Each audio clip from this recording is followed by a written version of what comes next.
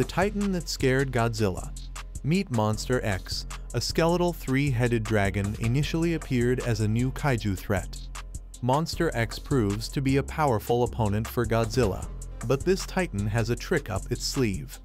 Monster X transforms into the mighty Kaiser Ghidorah, a monstrous golden dragon and significantly more powerful version of Godzilla's arch-nemesis, King Ghidorah. Turns out, Monster X was a mere disguise created by the Xiliens to control this ultimate weapon. Kaiser Ghidorah nearly takes down Godzilla, solidifying his place as a formidable foe. If Monster X is introduced into the Monsterverse, it could mean the resurrection of King Ghidorah.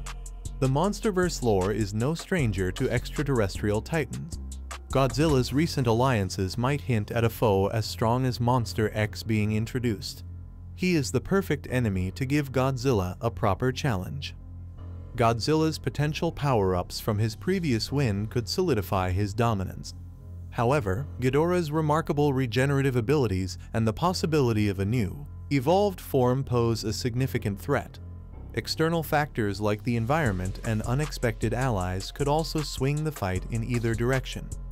While Godzilla's past triumph suggests his might, a rematch with King Ghidorah would be an epic showdown where the ultimate victor hinges on the circumstances of this monstrous clash.